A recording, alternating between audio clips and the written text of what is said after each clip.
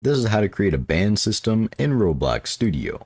Let's start off by going right over to server script service right here. Let's click on the plus icon to the right of that after hovering over it, and we're going to insert a brand new script. This script, let's go ahead and rename over to ban system because we are going to be creating a ban system inside of our game. Then let's go over inside of our script right here. I'm going to remove this top comment that was already here and we're going to replace it with a comment saying services. I personally like to separate off the different sections of our code into different pieces like this. That way it becomes much more readable and even organized, which I personally prefer.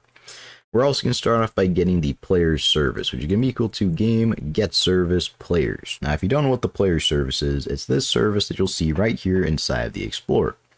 And the player service is responsible for holding all of the different players inside of the game.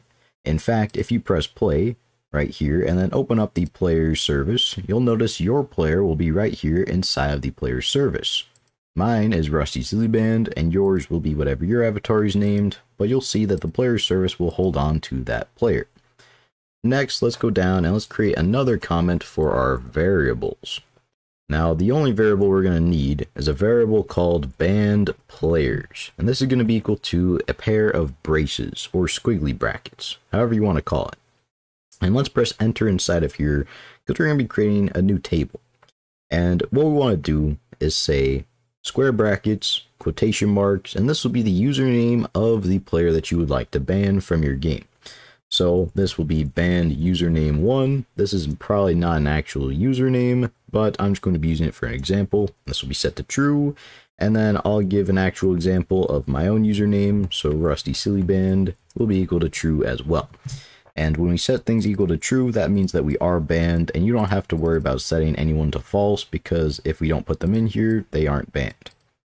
Let's go down now. We're going to create a brand new comment and this will be for our functions. Now, we're going to say players dot player added, and we're going to connect a function with the parameter of player. Now, this player that we took as the parameter is going to be the player that was added into the game whenever this function runs. And then we're going to check if banned players, which is our banned players table right up here, square brackets, and then we're going to say player dot name, then so pretty much if we find the player's name inside of this banned player's table, which in my case, Rusty Silly Band is inside of here, so I'm kind of cooked. But if I'm inside of that banned player's table, then we're going to say player colon kick, and then with the message of you are banned, exclamation point, exclamation point, exclamation point, all those different exclamation points. And this is all we need to do in order to create a basic ban system for our players. And you'll notice that if I go ahead and try and press play, I am not able to move at all. And if I open up the output, as you'll see right here, the server kick message, you are banned. And if I press on this home tab and switch from the current client to the current server, you'll notice I am nowhere to be found because I have been successfully kicked. Now, if I press stop and go back to our ban system, that is everything that we need to go ahead and do.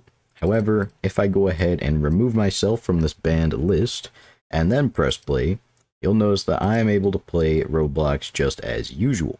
So I thank you so much for watching this video. If it helped you, please make sure you like, subscribe, and comment down below. I hope you have an absolutely fantastic rest of your day, and I will see you in the next tutorial. Bye!